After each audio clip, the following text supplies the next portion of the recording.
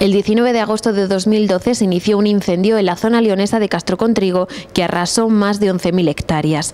Cuatro años después los trabajos de reforestación continúan para devolver a este lugar el aspecto que un día tuvo.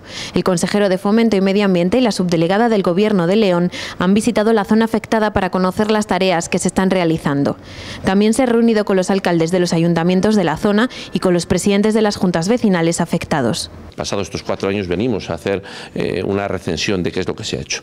Lo que se hizo aquí es un plan, un plan de, recuperación del ecosistema eh, forestal que Primero, pues traería unas obras muy urgentes, que son las obras de evitar la erosión, eh, de asentamiento del terreno, eh, aseguramiento del terreno, el recuperar la calidad hídrica de la zona, es decir, las aguas, evitar las plagas con la saca inmediata y rápida de madera, recuperar trabajos de recuperación de la fauna y de la flora autóctona y las infraestructuras importantes, pues, zonas de, de agua, cortafuegos, etcétera, etcétera. Juan Carlos Suárez Quiñones ha aprovechado también este encuentro para anunciar nuevas ayudas de la Junta de Castilla y León. Se convocarán unas ayudas en estos próximos meses. Estamos ultimando el, programa informático que les va a dar soporte de fondos para mm, ayudar a los propietarios privados a que realicen actuaciones de reforestación, de rehabilitación e incluso de, plantar mm, en zonas determinadas determinados árboles productivos que no sean necesariamente solo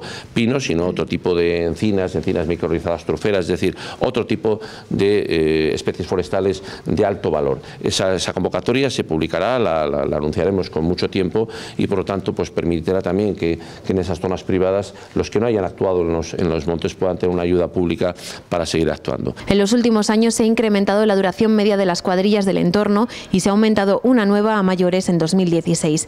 Además, a principios del próximo año, la Junta concederá una motobomba al Ayuntamiento de Castro Contrigo.